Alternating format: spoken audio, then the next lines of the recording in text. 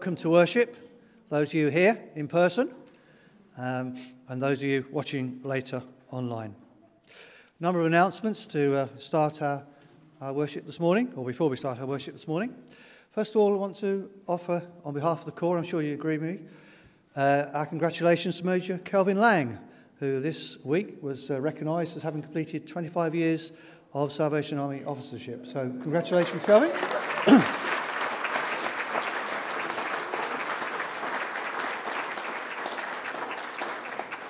Only another 25 to go. a few announcements then. Uh, tomorrow is the uh, next Monday free time session uh, between 10 and 12. And uh, it's uh, open to all. Come along, have a game of table tennis, dominoes, be part of the uh, corporate effort to make the next jigsaw puzzle. and just to have a good time. Free drinks, tea and coffee available, and it's open to all. So do come along if you'd like to, between 10 and 12 tomorrow. Uh, on the uh, foyer table, there are copies of the prayer diary for August, so please do take those as you leave this morning, if you haven't already done so. Uh, over the last week, we've had a school uniform pop up shop here on Tuesdays and Thursdays, being run by Clothing Coventry, a local charity. And it's helped so far over 100 families this week, which is a really fantastic effort.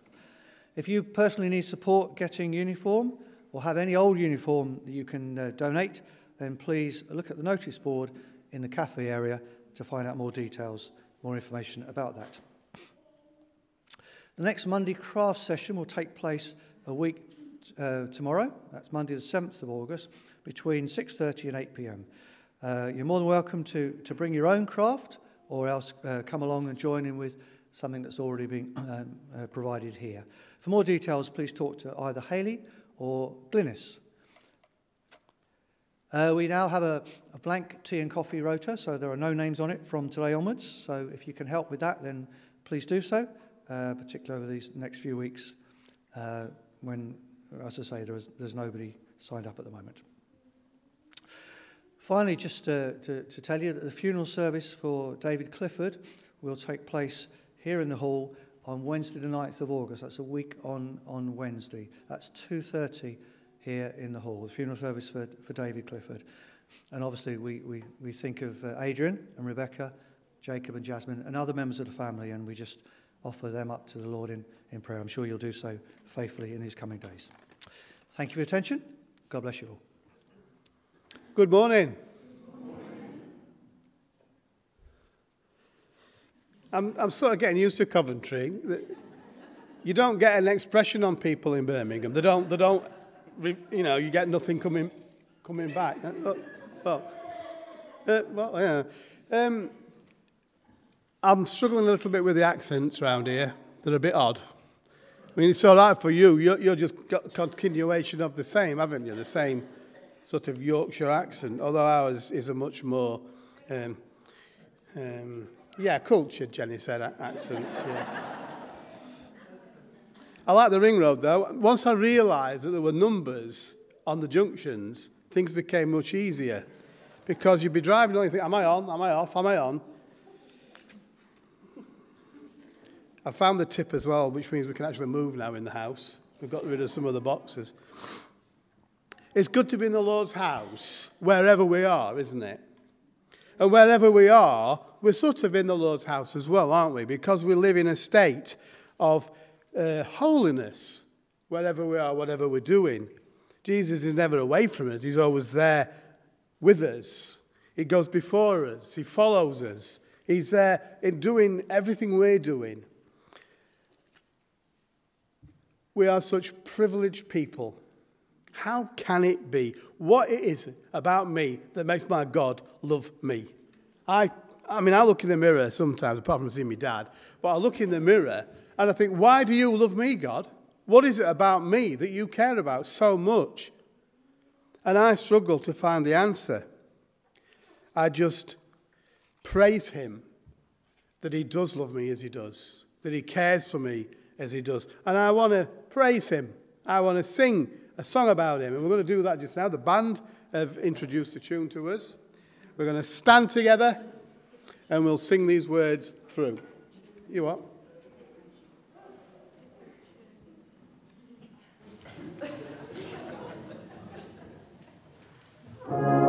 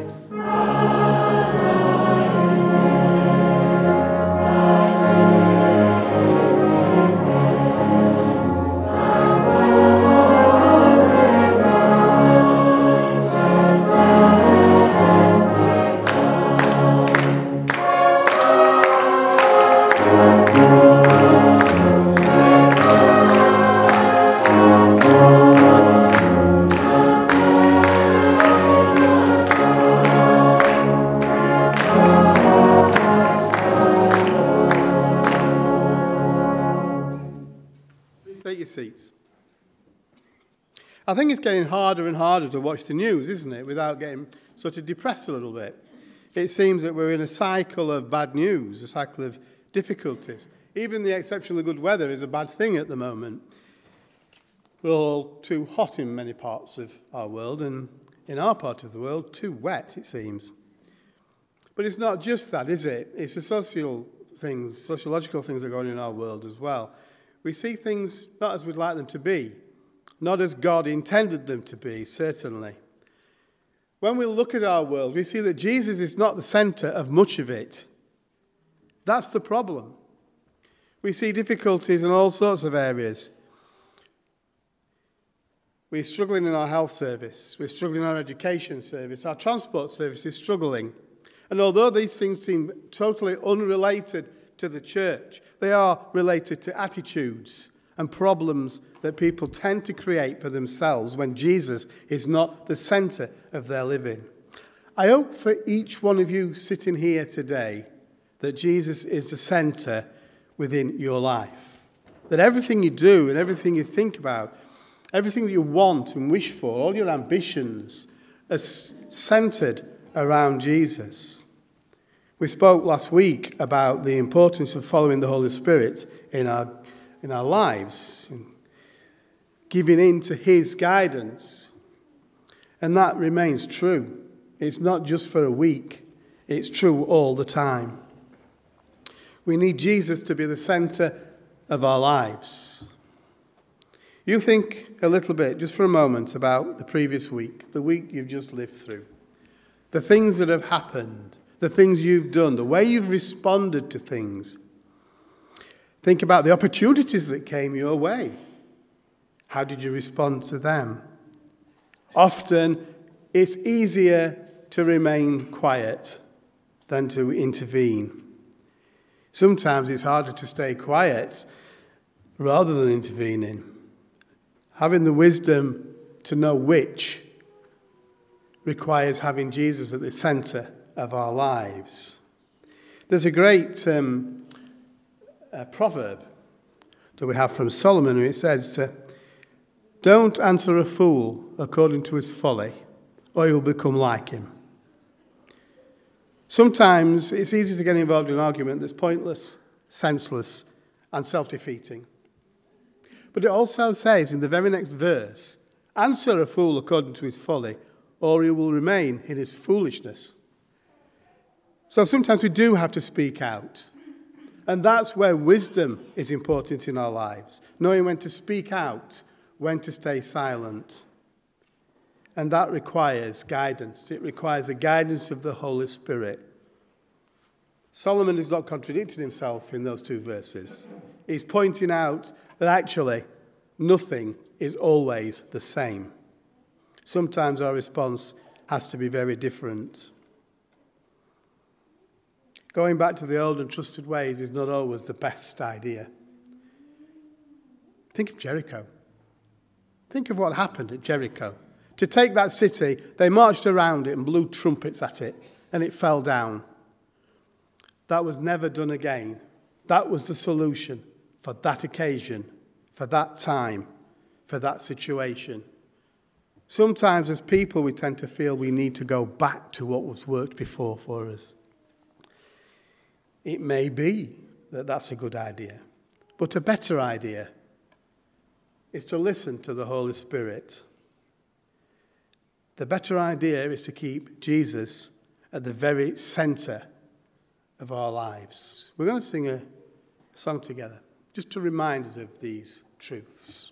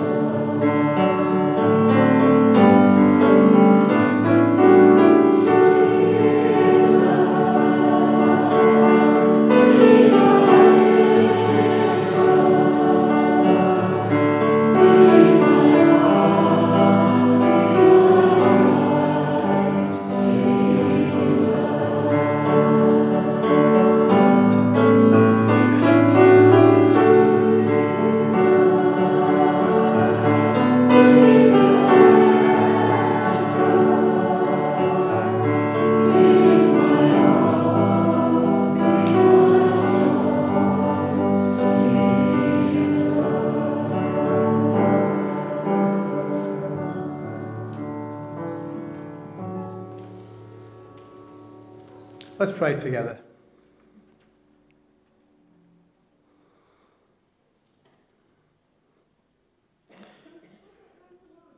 Heavenly Father, we are very conscious that we need you to be at the center of our lives. We are also aware that the world clamours to destroy that concentration on you.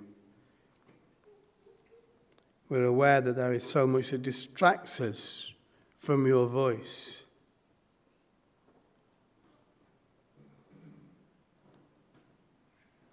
Heavenly Father, we ask that all those people in our world who are in positions of influence will be influenced by you. That you will move to the centre of their lives, of their thinking, of their philosophies, of their planning. We ask that we will see kindness more demonstrated in our world and hatred less demonstrated.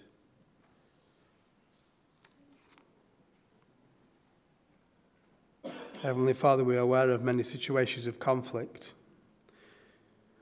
The ones that make the headlines and the ones that don't. The ones that go on in the background. And the smaller conflicts, Lord. We think of the situation in human trafficking at the moment. We pray for your blessing on those who seek to eradicate that terrible blight from our societies.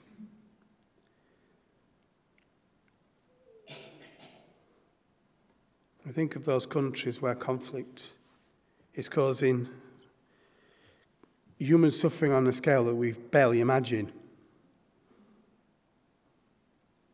We've seen very profitable countries, affluent countries, destroyed by conflict. Heavenly Father, we need you to come to the center of this world. And we accept the responsibility that you've given us to take the message of the gospel to the world, to all the world. Help us to be productive and effective in our ministry. Help us to be confident in expressing our love for you. Help us to be faithful in obedience of you and confident in the resources which you enable us through. Heavenly Father, here in this place, help us to be a powerful and effective church. Help us be effective and powerful people. Developing relationships with those who do not know you. Helping to broadcast that relationship, to broadcast the power of your love and the tremendous impact that you can have on our lives.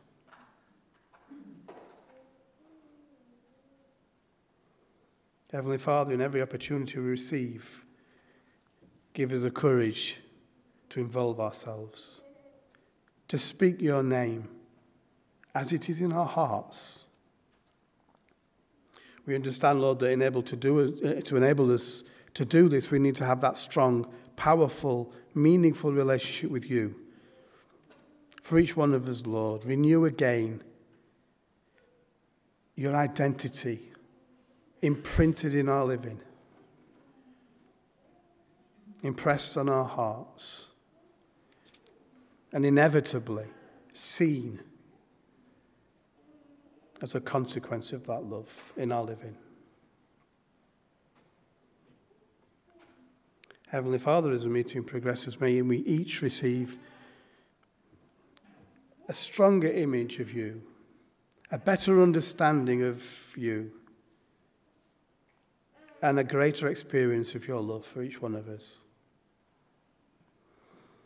Heavenly Father, we uh, ask all these things in your name. Amen.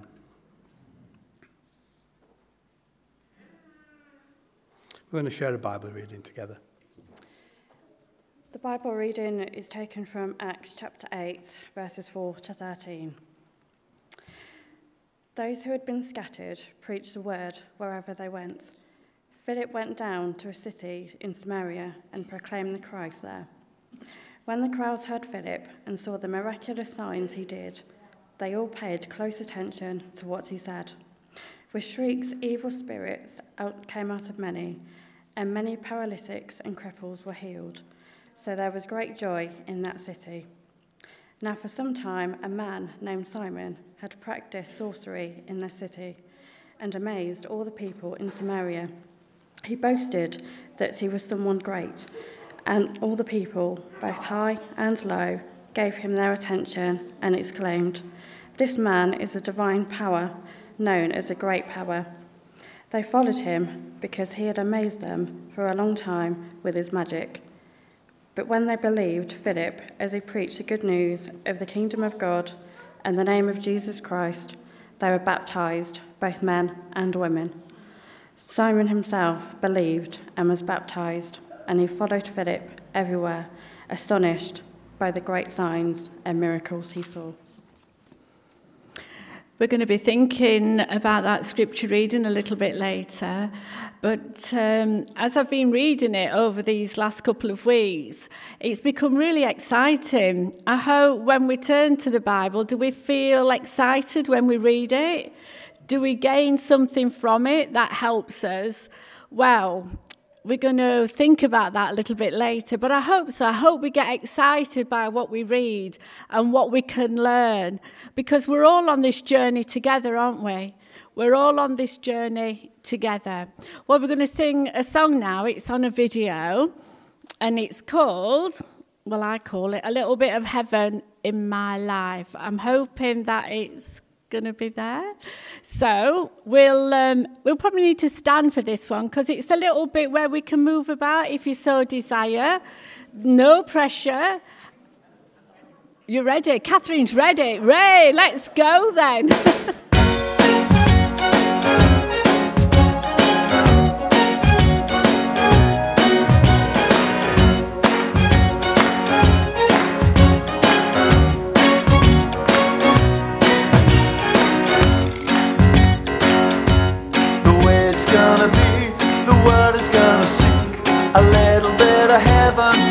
my life. A picture here of you, help me to be true. A little bit of heaven in my life. May I be a bright star shining, helping people finding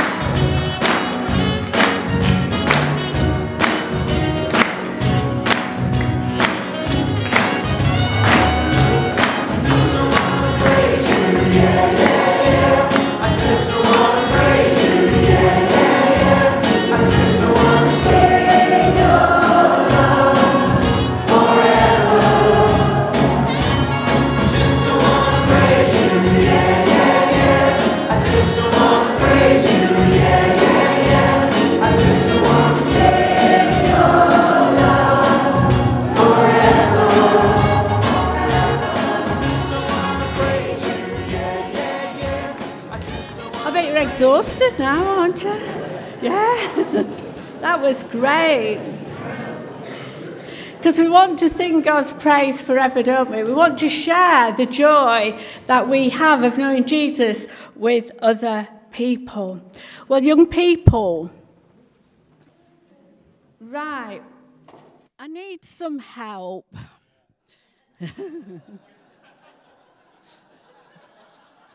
Thank you. Thank you for that. You will pay for that later. right then, who's going to help me? I've got a five pound note here. Do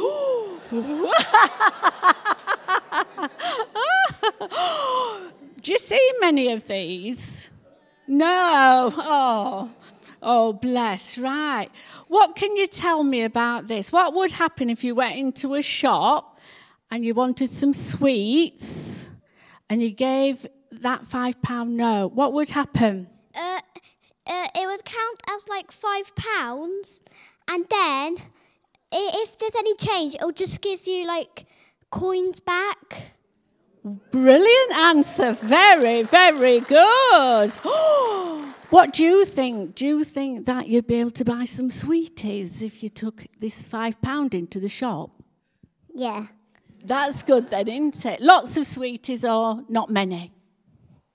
Lots and lots and lots, do you think? Yeah, because uh, you'd be able to have lots of sweeties with that, wouldn't you? Do you think? Maybe. Right. Well, on here, it says, can you see that writing there? It's very, very small, isn't it? But it's a promise. Oh, shall I read that promise or shall we read it together? Together. Together. Right, here we go. Can you see that? Yeah. I promise to pay th- the the bearer on the On demand. on demand the sum of five pounds. Well done. That's really small on there, isn't it? So, we take it into the shop and we buy what we need to buy. We get our change and then we go on our way. But what happens if this wasn't real? what? It wouldn't just count. It wouldn't count as money. Oh, it wouldn't count as money, would it? It would be fake, wouldn't it? Yeah, and that's no good, is it? No. Wow. So, just as this five pound, you've seen yourself on the screen, haven't you? Brilliant. Hello, you coming to join us? No, okay. Um, so this is real. This is not what we call counterfeit or fake. It is real because it's got some marks on it which says that it's real. So it's got some stamps on it. It's got a line through it, and they're very hard to count these now, aren't they? Because they're sort of a plasticky thing, aren't they? Yes, yes. You're nodding, Maureen, aren't you? yeah, very difficult to count. But just like this five pound, we as Christians, and you love Jesus, don't you? Yeah. Great stuff. So, just as Christians, we have to be what we call authentic. Now, that's a really big word, isn't it? Authentic. But we have to be real. We have to uh, be the person that God wants us to be. And that's really important because we don't want to be one thing one day, maybe on a Sunday when we come to church, and then a different person in the week because people will get confused about who we are. So remember that, that we need to be good people for Jesus, okay? Now, if I was really generous, I'd give you this, wouldn't I? Yeah, but I'm not. So that's really horrible. But if you come and see me afterwards, we may have some sweeties for you. All right. Okay, so see me afterwards. I'm not as nasty as that sounded, honestly. All right. Okay, then. Thank you. Give him a round of applause.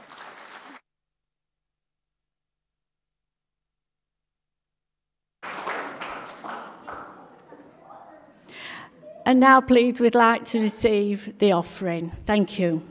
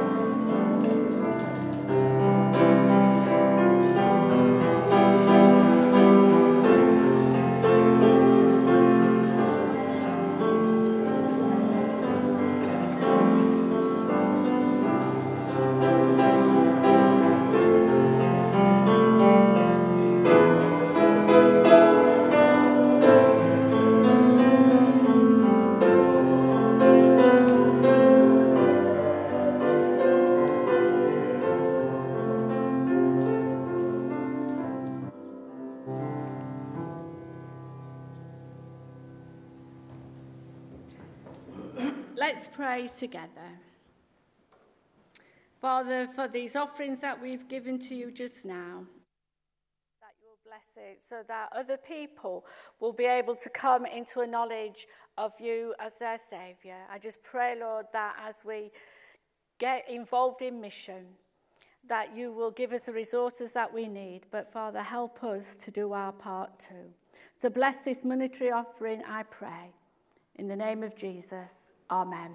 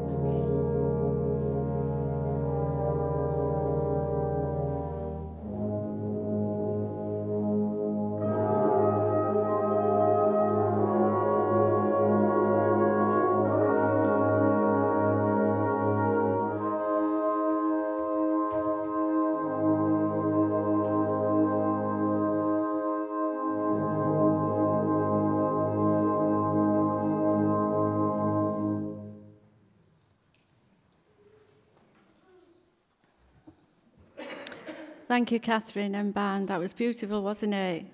The words that we associate with that music. I know he cares for me. And that's individual, isn't it? That's individual. He cares for me. Well, we're going to uh, learn a, a chorus um, just now. Uh, hopefully, you have um, a little piece of paper which looks a little bit like that. And uh, it's, a, it's a lovely chorus, and uh, I'm going to ask Steve if he would just to play it through for us. And um, the words there are on the screen. And uh, we'll sing, we'll listen first, and then the second time we'll sing it. Thank you.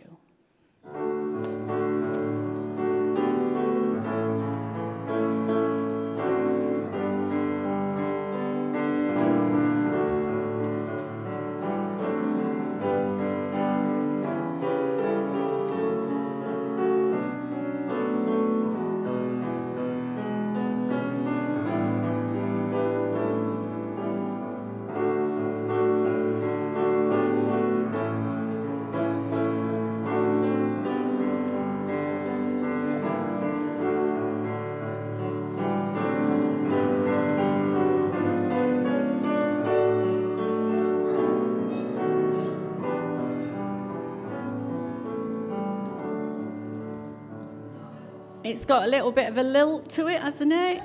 As we sing it together. So, do you like it? Do you like the melody? Yeah? Good. Okay. Are we having an introduction? Thank you. We'll sing together.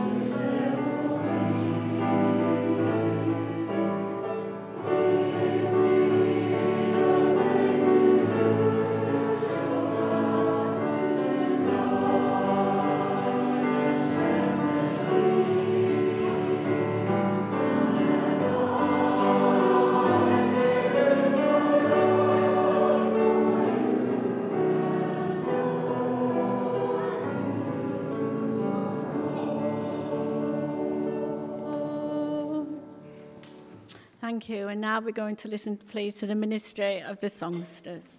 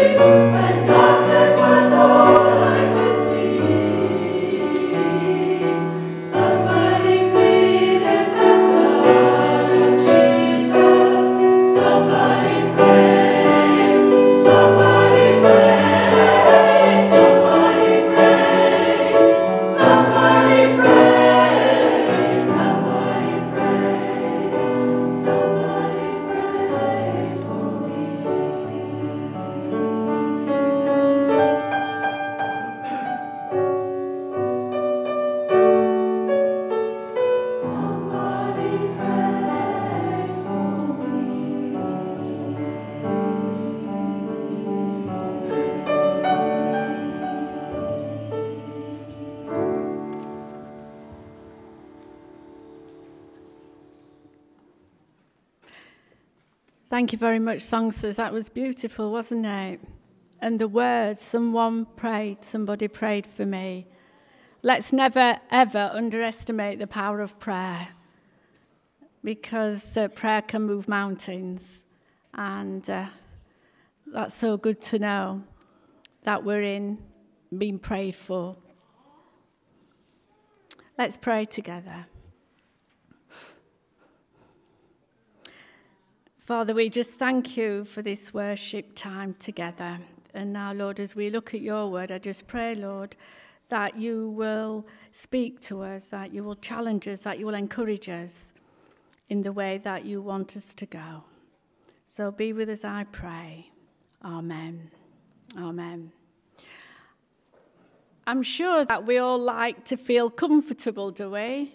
Do we have something at home that we go to to make us feel comfortable? Well, I do, and I've brought them to show you.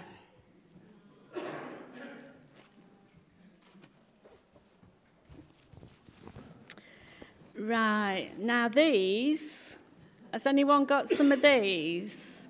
Some slippers. These are really lovely and warm you know, when, when the weather's a bit rubbish. But you know, you can put these in the microwave.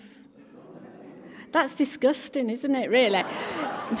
you can put them in the microwave and they warm up, and then you put your feet in them, and then it keeps them really, really warm. But I've never had the opportunity that I thought that was right to put them in the microwave. So they don't go in the microwave, but that's just a thought. Right, now this, this is something. If you look at this, how old would you think it is? Don't be shy. Who said 20 years? Oh, you're not far off. This, this is 23 years old. And I can't part with it because it's my go to. So when I get in at night, not always, not in the summer, but when I get in at night and the day's done, I go and get some joggy bottoms on, some tracksuit bottoms, and then I put this on as well. And it, it's like a security blanket. I don't know if you've got anything resembling that. Um, okay, probably not. right, and last, but I bet this is something that you can relate to. Chocolate. Yeah, I love all kinds of chocolate. And this is, it says mini rolls raspberry. I buy these because Steve doesn't like them.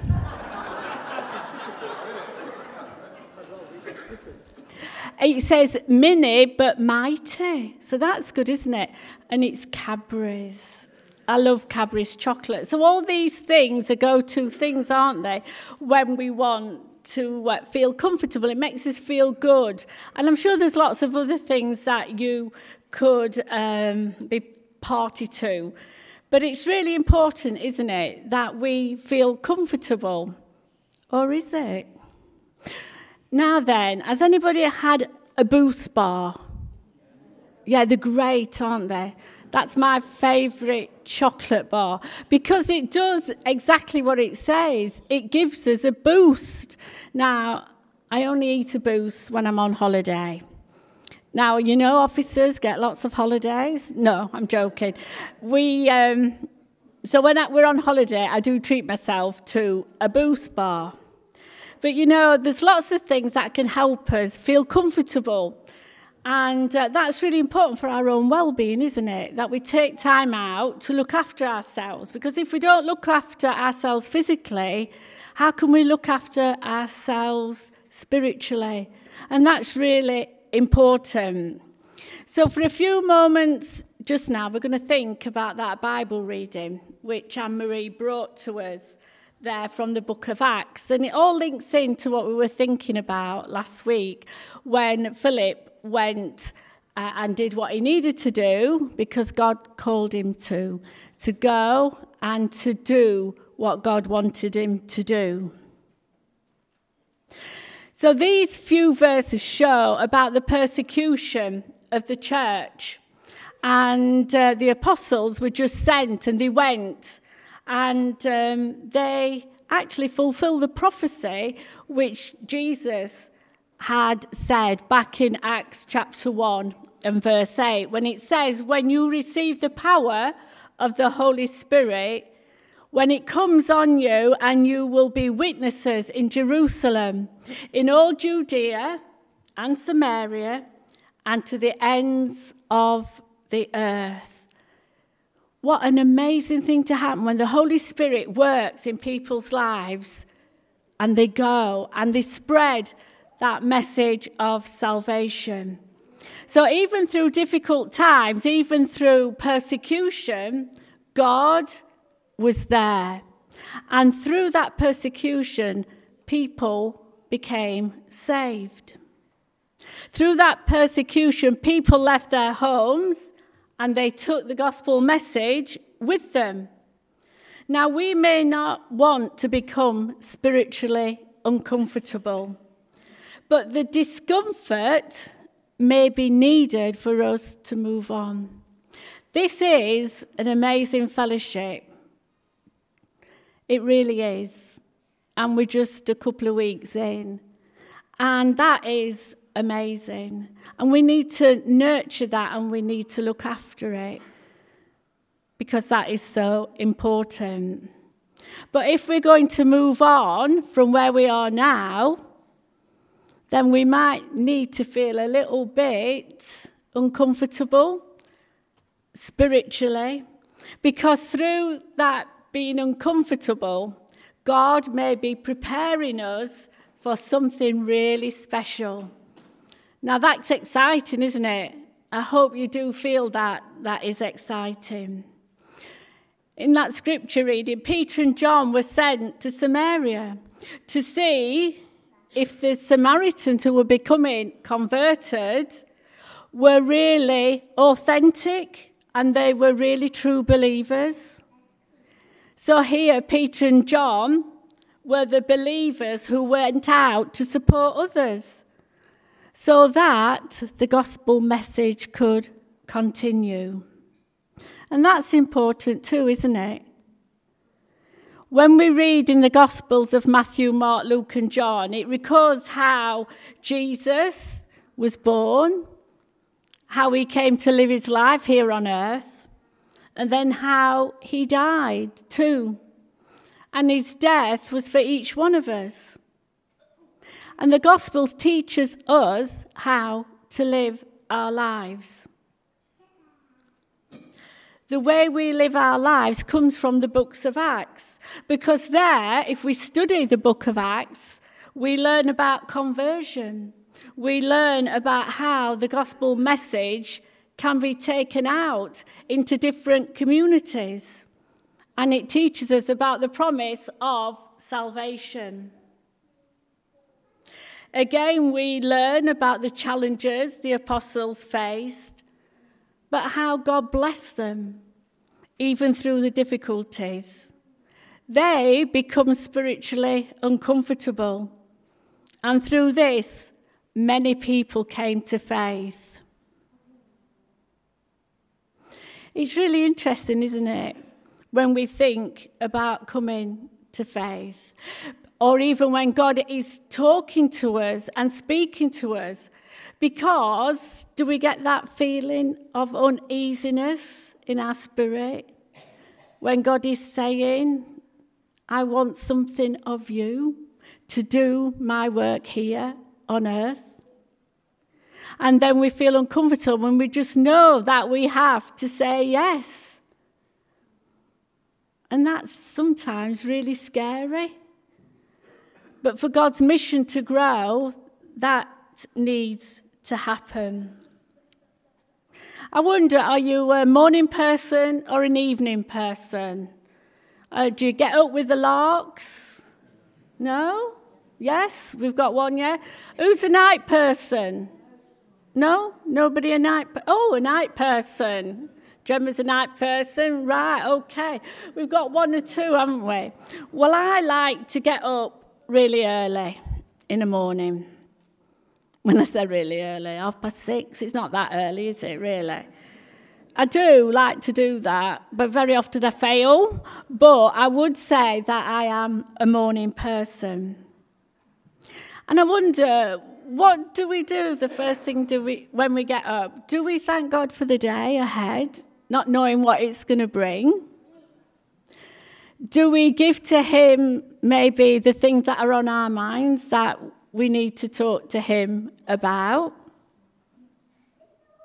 So, do we surrender the day to God with all its challenges, all its joys, the people we may meet, the people who we plan to meet, and it doesn't happen for whatever reason? Well, William Booth said, The greatest of a man's power is the measure of his or her surrender to God. The greatest of a man's power is the measure of his surrender to God. That's interesting, isn't it? When the Holy Spirit comes into our lives, we can be challenged to do all kinds of different things. So, going back to that Bible reading, we heard about Simon who was a bit of a, a one, really. That's a Yorkshire expression if you're not sure.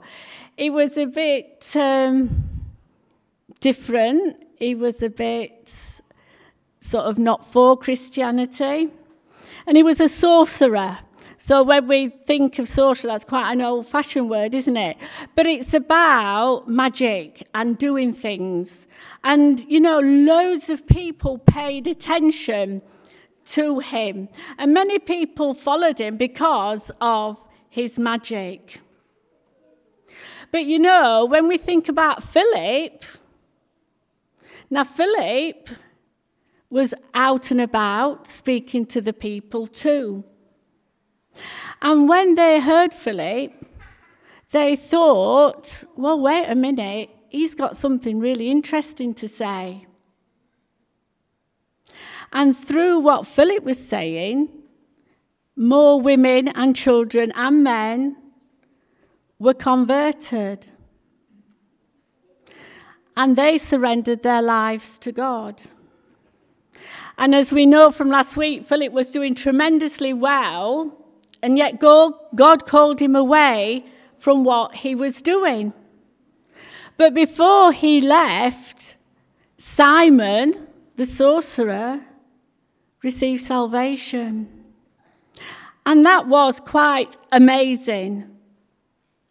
Because sometimes we can be deterred, can't we, about doing what God wants us to do. We can become deterred if we don't think we know much about the Bible, if we don't understand the gospel. But my encouraging thoughts this morning would be then if we don't know something, then we can either find out or we can ask someone else because we are a family of believers here. And if we don't know, then there will be someone who does. And this is why it's so important for us to read our Bibles, to share in Bible studies, and to share in prayer together. What amazing thing is that somebody prayed for me. It's amazing, isn't it? And the difference that it can make. Well, we know that the Holy Spirit can stir us up. Now, Philip preached to the many, and he was quite a young person, really. But also, he preached to the one with the Ethiopian eunuch. You know, we want to know what's happening in your lives. We want to know what God is doing in your life. We want to hear about your thoughts and ideas in moving forward in God's mission. So, is God speaking to you today or asking you to do something? Then please share it with someone. Jesus went through Samaria and saw the success of Philip. And for whatever reason, at this point, God speaks to Philip and asks him to go to the desert road to speak to that one person. God blessed the ministry of Philip. He blessed the ministry of the apostles too. And there were seasons of remarkable progress where God moved within the people. And there was a real sense of the Holy Spirit's guiding. The gospel exploded, and Philip was in the center doing a brilliant job. But he went away to do what God asked him to do, to speak to the one. And by speaking to that one person, Christianity, the ripple effect was amazing. The, apostle, the apostles, through difficult times, did what God wanted them to do. Through the uh, persecution, they took the message and it was scattered everywhere. When we think of uh, Coventry City, it's big, isn't it? It's massive. And we can have the ripple effect of spreading the gospel message. Let's think then about the things we can do to help build the kingdom here on earth and not the things that we can't do. There's things that I can't do. And sometimes it's easy to dwell on that, isn't it, than think about the things that we can do. But God honours our faithfulness. And we want to see our church here continue to grow, don't we? And we have that opportunity of being part of the journey. So let's listen to the Holy Spirit. I hope we surrender to God each day.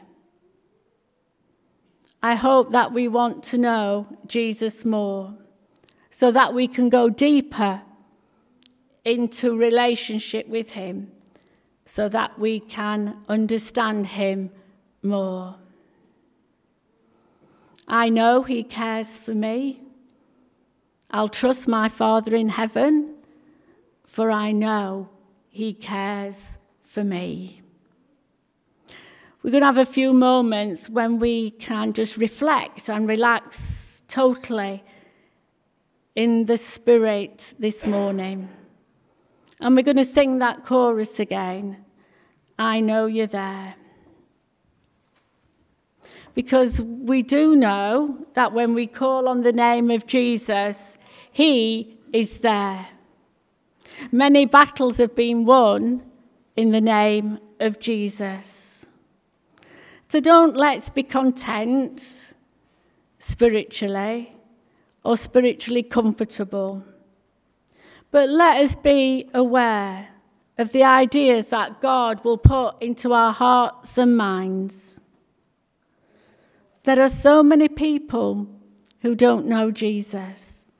So let's join in his mission and work for him but be encouraged that you are loved by Almighty God. If the Holy Spirit is speaking to you this morning, then as we sing this song through, please feel free to use this place of prayer. Last week, JP, the divisional commander, said, let's use this place of prayer where we can come in a very special way and meet with God. We can meet with God just where we are too. But don't let's neglect this moment. Let's just relax as we sing this chorus together.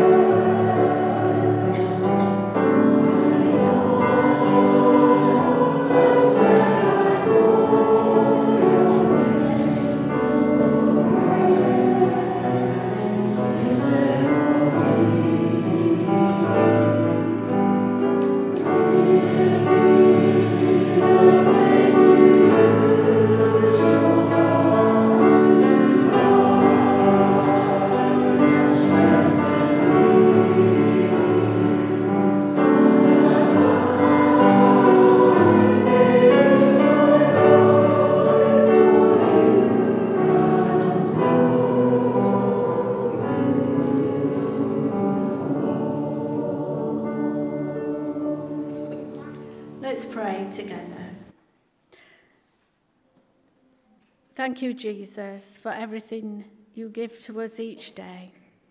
Help us, Lord, to know you more. Help us, Lord, to uh, be energized by your Holy Spirit. Help us, Lord, in everything that we do for you. Help us, Lord, to realize that you love us so very much and care for us, and that we can trust you in everything. Father, I just thank you for this morning's worship. Help us, Lord, as we live out our lives this coming week. The people who we will have conversations with. I just pray, Lord, that you will be in the center of everything that we do. And I pray this in the precious name of Jesus. Amen. Amen. Going to sing a, a final song together. I've been changed. I'm sure that we, uh, we know this one, and the band are going to uh, accompany us. Would you like to stand as we uh, sing? Or if you feel more comfortable, remain seated, that's absolutely fine. But we'll sing this song through together. Thank you, Gemma.